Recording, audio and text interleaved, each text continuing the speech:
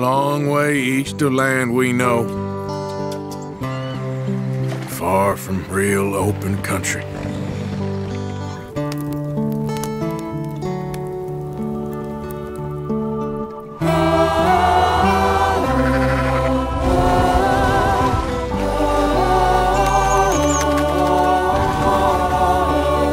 More and more civilization. What a damn mess we're making a things.